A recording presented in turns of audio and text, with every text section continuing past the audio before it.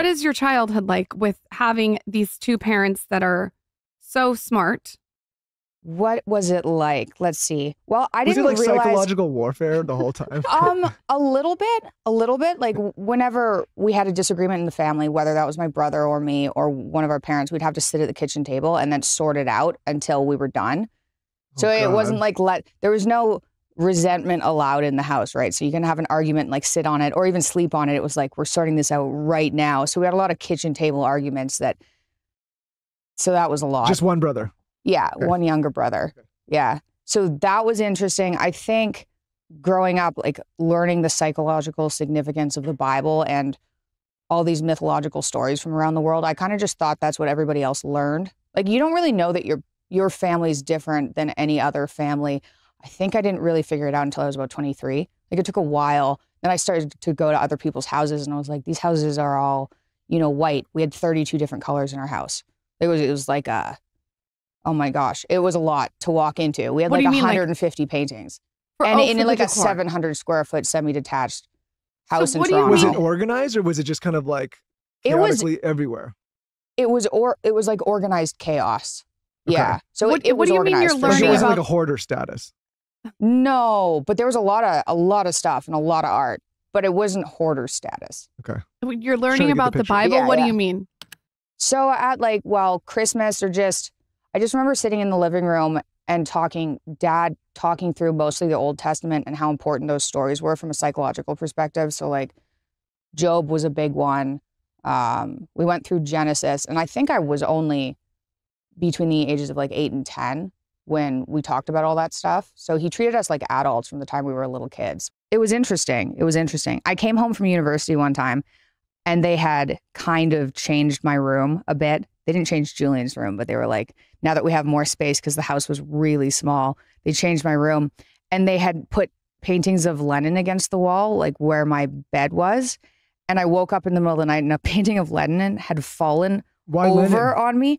Because dad, like once the Soviet Union's walls kind of came down, there was a whole bunch of art. A lot of it was propaganda art that was stuck behind there, and people there were able to sell it mostly on eBay. Mm. So he was like, "This is insane," and bought hundreds and hundreds of really amazing kind of propaganda paintings on eBay, and then filled our entire house with it. You know who I else heard did that was Arnold Schwarzenegger. He like got the busts, the like the statues. Yeah, we had people. some busts. We had a Lenin bust. So you It- didn't realize until you're 23 years old that the way that you grew up was so unique.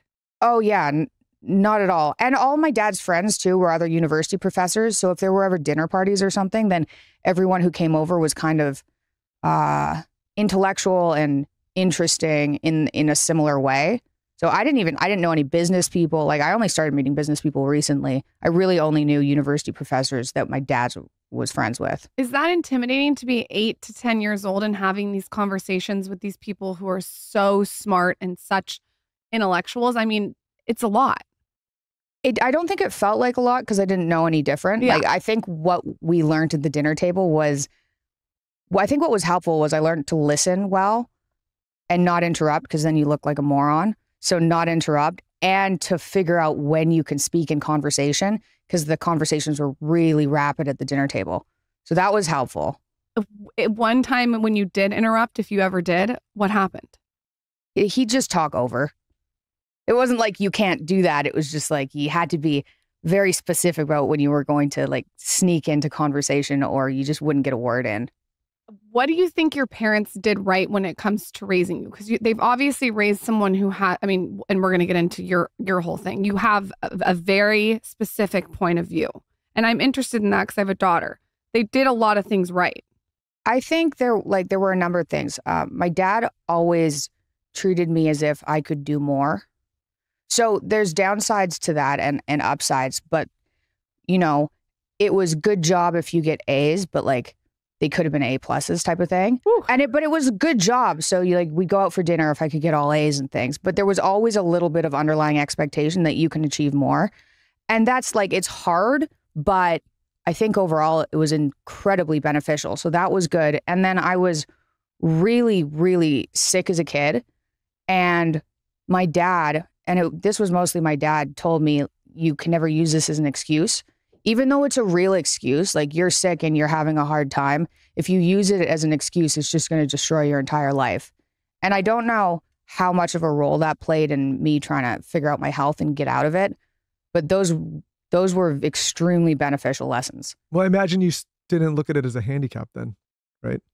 Not really. I was annoyed by it. I w- and I didn't, I guess, internalize it like this is me, which I think a lot of chronically ill people do is like, this mm-hmm. is part of my identity. And this was always like, this is a handicap I have to deal with. And maybe I can get rid of it. You know, when, when I was in my young 20s, I was like, maybe I actually don't have to just be dealt that hand and live with it for the rest of my life. Why do you think there's downsides to that to particular perspective when it comes to parenting?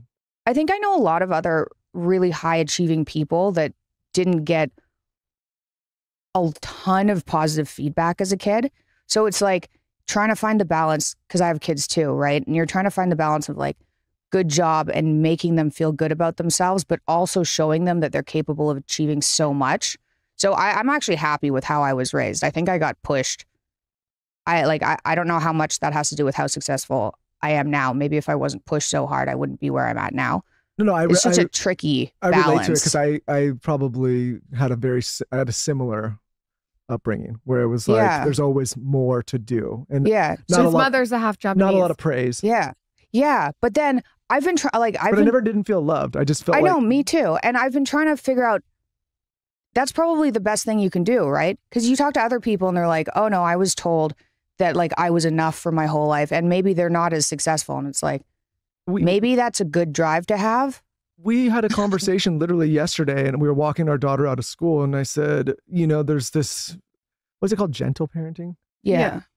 Yeah, hmm. I think that I don't know about that term. But I was like, I, I, I just was telling her, I said, you know, the problem with all of this and making people feel good all the time and making people feel safe all the time is that you get into the real world and you're not going to feel good all the time and the world's a dangerous Yeah. place and there's real competition and there's people that don't care about your feelings that are going to do whatever it takes and i said our job as parents are to usher in capable adults that are able to deal with that reality and i think i'm not passing judgment but I, I just if you if you look at some people that have gone the other way and then their kids grow up and they are completely flabbergasted when they get into the real world like oh my god i can't believe this is real like why isn't everything fair and why isn't everything safe Yeah. I think then as a parent, you have to look yourself in the mirror and say, maybe I could have done that differently. Because uh, Yeah. I view my job for both my daughter and son is to like usher them into adulthood so that there's the least amount of surprise when they get there. Does that make sense? Yeah. Yeah.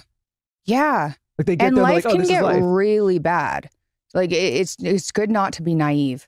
I, I like when I, I used to be when I when I was a when I was a kid, I used to get in trouble and we- we'd get in these fights and it was totally stupid. But I always was amazed and shocked when somebody would be in that situation and they would get hit in the mouth and they would be so surprised that that was the outcome that happened.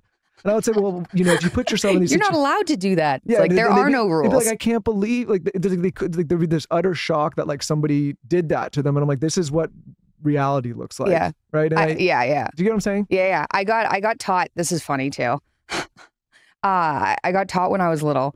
Um, so apparently my parents had friends over, and my dad told me, you know, when you when you enter kindergarten, go up to the biggest kid there and punch them, and that'll that'll show the the class who's dominant there. It was a joke, right? And the parents that came over were not impressed. Um, but I remember in grade two, somebody was bullying me, and it was a kid that like obviously came from a rough family and wasn't having a good time. It was this girl and she shoved me against a wall and I kicked her. Like that was just the response. It wasn't like cry because I got shoved against the wall. It was like shove, kick, like hard.